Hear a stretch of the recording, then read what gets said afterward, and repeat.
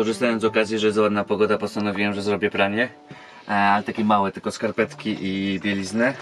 Bo, bo nam się zaczynają kończyć, przynajmniej się zaczynają kończyć, a nie mamy możliwości podjechać do żadnej e, pralni automatycznej.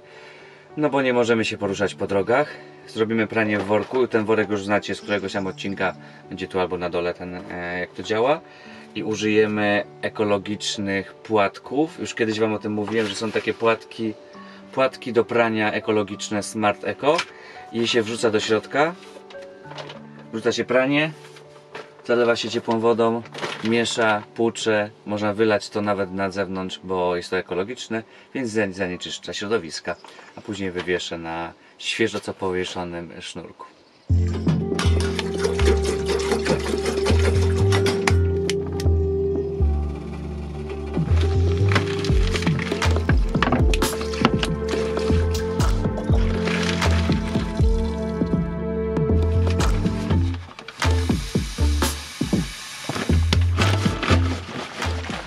Dzisiejszy odcinek jest o rutynie w wanie podczas kwarantanny i normalnie nie pierzemy, normalnie każdego dnia nie zaczynamy dnia od zrobienia ręcznego prania, ale no, że dzisiaj filmujemy cały dzień, to chcielibyśmy chciałem wam pokazać, co dzisiaj robimy i między innymi jest to pranie. Zostawiam to, niech sobie to jeszcze się przegryzie, a ja w tym czasie zrobię śniadanie. Z uwagi na to, że nie mamy dostępu do piekarni, nie mamy dostępu do świeżego pieczywa, jak też większość chyba z was, kupiliśmy sobie takie chleby z długotrwałą, z długą datą przydatności, ten zakład do września. No mamy dość duży zapas i nie narzekamy, one są całkiem smaczne i nawet zdrowe podobno. I odnośnie tych zapasów to wam powiem, właśnie rozmawiałem wczoraj z moją mamą i powiedziałem, rozmawialiśmy na temat właśnie tych zapasów, jakie oni robią, jakie my robimy i dla nas nie było najmniejszym problemem zrobić zapasy na 2-3 tygodnie, bo my już kiedyś robiliśmy takie rzeczy. Jak jechaliśmy do Skandynawii, to zrobiliśmy zakupy na 3 miesiące i przez ten czas nie chodziliśmy w ogóle ani w Norwegii, ani w Finlandii, ani w Szwecji do sklepów i daliśmy radę, przeżyliśmy, gotowaliśmy i odżywialiśmy się w miarę nawet zdrowo powiedzmy. Więc takie chlebki kupiliśmy wtedy też. Kupiliśmy makarony, sosy i przeróżne rzeczy, z których, które mają długą datę przydatności i które można łatwo połączyć i zrobić coś dobrego. Więc dla nas zrobienie zakupów na czas epidemii to było bardzo proste. Po prostu podjechaliśmy do sklepu i wiedzieliśmy co trzeba kupić i co może się skończyć, co może być przydatne i tak też zrobiliśmy. Przez ostatnie dni jadaliśmy inne śniadanka. Jadaliśmy płatki owsiane z mlekiem owsianym i z bananem. Ale niestety teraz nie ma banana, bo się wszystkie banany nam skończyły. Same płatki owsiane z mlekiem owsianym to nie brzmi ciekawe połączenie, więc dlatego też jest chlebuś. Zastanawiam się, jak wy sobie radzicie w czasie epidemii, nie ma świeżego pieczywa, jakie śniadania robicie i co możecie nam polecić. Jak macie jakieś fajne, ciekawe rozwiązania, jak można sobie urozmaicić śniadanie podczas zarazy, to dajcie nam znać w komentarzu.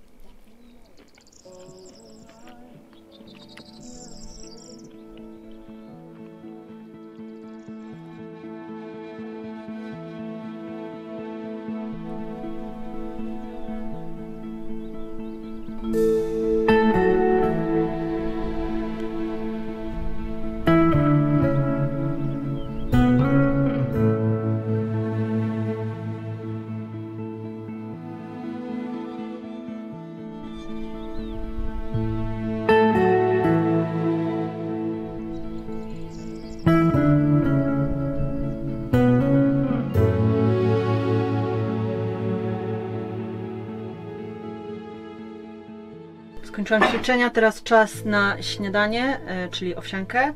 I muszę Wam powiedzieć, że to dopiero trwa dwa tygodnie, te ćwiczenia. I na początku było mi tak strasznie ciężko. Zresztą dalej jest, ale jak sobie poćwiczę, to po prostu się tak dobrze czuję. Mam taki, po prostu tak dużo energii, takie pozytywne, po prostu radosne życie. Także mimo, że mi się nie chce, to zmuszam się i po prostu staram się nie myśleć o tym, że mi się nie chce. A potem jak to przeleci, to jest cudownie.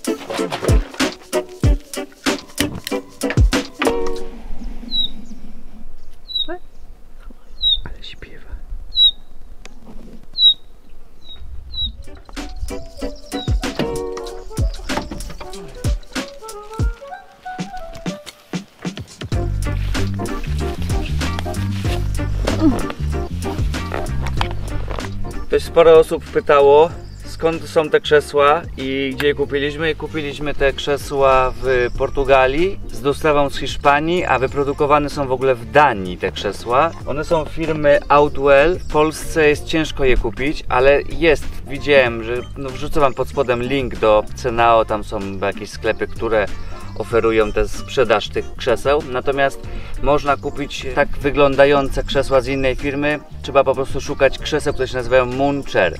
Moon jak, krzes, jak e, księżyc, krzesło po angielsku. Księżycowe krzesła. Teraz będziemy e, siedzieć w słońcu i no, zażywać kąpieli słonecznych, póki e, jest taka okazja. Kasia je Owsianka. owsiankę, a Łukasz będzie sprawdzał e-maile. Mamy internet, moi drodzy. Internet dla tych wszystkich, którzy będą kiedykolwiek przyjeżdżać do Portugalii, bo wiem, że nadal są te pytania się pojawiają. Internet w Portugalii kupuje się z firmy NOS. NOS, tak jak NOS. Płaci się 1 euro za dzień i jest nielimitowany internet przez ten dany dzień. Kupuje się pakiety 15 albo 30 dni. Ja tylko chcę dodać, bo dużo osób się dziwi, kiedy my mówimy właśnie, że nie mamy na coś czasu i tak dalej. Teraz właśnie mamy czas, żeby siedzieć i zjeść sobie spokojnie śniadanie. Zazwyczaj o tej porze się przemieszczamy. Jeśli gdzieś mamy akurat postój, to zazwyczaj o tej porze jedziemy na zakupy. Czyli po prostu teraz się toczy życie wokół kampera albo wokół podróży. No i to jest zawsze czasochłonne i absorbujące naszą uwagę. Pomijając to, jeszcze cały czas teraz nagrywamy vloga, co też zabiera nam czas, jakby nie było. Odpowiadamy na e-maile i wiele osób się dziwi, jak ja mówię, że ja pracuję że i muszę odpowiadać na maile. To jest bardzo dużo e-maili, na przykład słuchajcie, teraz dostaliśmy propozycję współpracy kremów do depilacji. Chciałaby jedna firma, żebyśmy weszli w nią współpracę i pokazali, jak depilujemy sobie, nie wiem, nogi. Więc trzeba będzie odpisać im, że nie będziemy w tą współpracę. Dostałem e, e-maila w sprawie koronawirusa, dostaliśmy od grafika e-maila, też trzeba będzie odpowiedzieć. Tu jest e-mail z... O, tutaj też kolejna propozycja współpracy. Komentarz pod twoim ostatnim postem Jeden? ktoś napisał komentarz, bardzo miły. Jeden, no. O, spodziewałam się większego odzewu, ale to trudno. Czytaliście najnowszy wpis Kasi na blogu? Jeżeli jeszcze nie, to proszę tam kliknąć albo tu na górze, albo na dole będzie odnośnik. Jest to post pod tytułem Uboczne skutki van life'u i jest pięknie napisany, naprawdę cudownie. Ja się wzruszyłem jak przeczytałem. Ojej, aż tak. Naprawdę, no. No i tych maili, słuchajcie, jest 20, które się pojawiły od wczoraj, no i wypadałoby na nie odpowiedzieć. Na niektóre poświęcę 5 minut, a niektóre godzinę będzie trzeba przygotować jakąś ofertę i tak dalej. Więc zejdzie mi z tym, podejrzewam, ze dwie godzinki dzisiaj na komputerze. Później zobaczę, co się nagrało, trzeba będzie to przeglądnąć, wysłać do Olka, opisać. Dobra, koniec gadanka. Opalanko.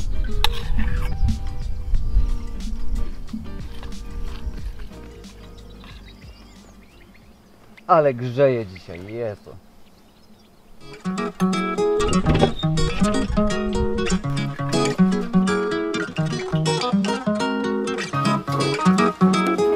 Korzystając z tego, że Kasia Puczek chcę Wam pokazać, że zrobiłem pranie i będę go niósł na e, te patelni do paeli.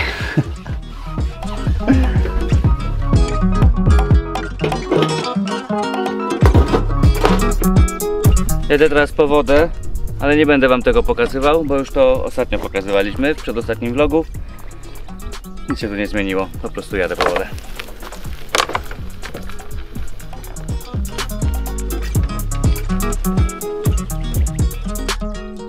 Łukasz pojechał po wodę, a ja teraz też mam trochę rzeczy do zrobienia na laptopie. Muszę posprawdzać właśnie te komentarze na blogu. Mam jeszcze do napisania jednego posta i jeszcze parę rzeczy do ogarnięcia, także ja teraz będę to robić.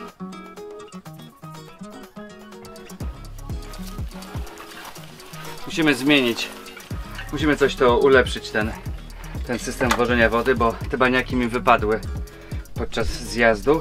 Teraz nie było tak źle jak ostatnio, bo nie było błota, ale, ale bez sensu, żeby jechać tylko po cztery baniaki taki kawał drogi, więc muszę tutaj coś, coś zamontować, żeby można było więcej, więcej przewozić za jednym razem.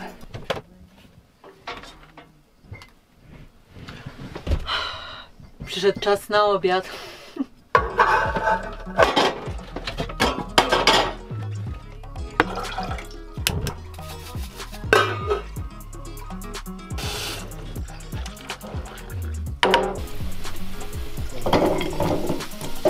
Ostatnio przez przypadek odkryliśmy liście rzepy.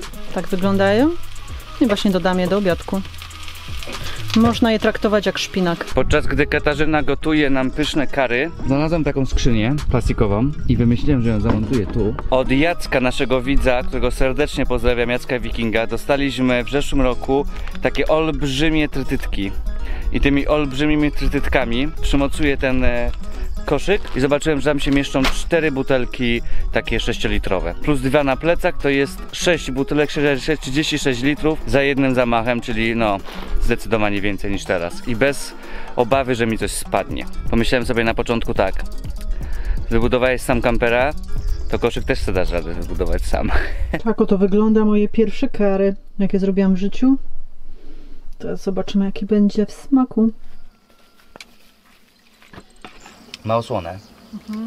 W ogóle nie słone. Mmm, ale smaczne. Ostra, Tak? jak dla mnie. Przepyszne. Naprawdę, jak na pierwsze kary w życiu, to moja żona, e, no chyba urodziła się w poprzednim wcieleniu w Indiach. Zjadłaś wszystko? Nie, nie mogę, zapchało mnie. Ryż napęczniał. Poczekamy chwilę, aż e, ryż e, ułoży się na brzuszku i wrócimy do kolejnych naszych czynności, które dzisiaj mamy zrobić. to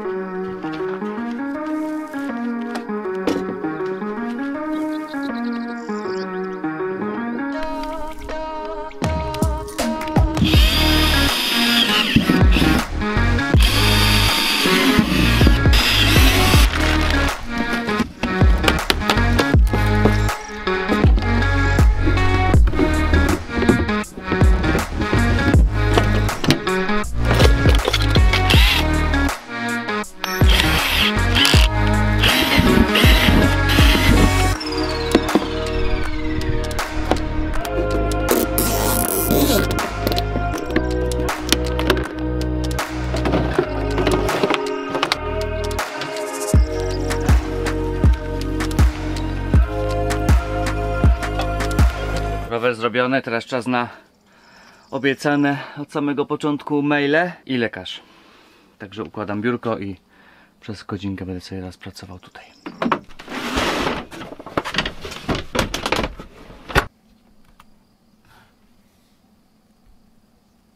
Zbliża się wieczór, słońce pomalutku zachodzi.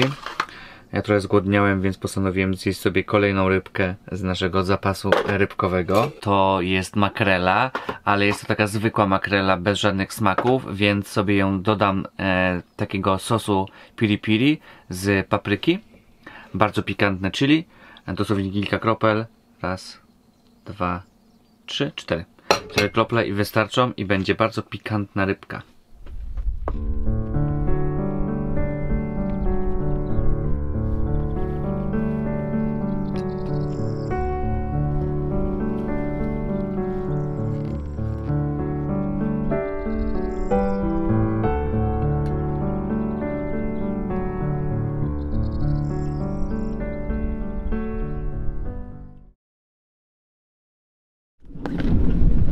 Dzień dobry, mamy poranek i nie za ciekawą sytuację, ponieważ przyjechała policja i nas e, wygonili.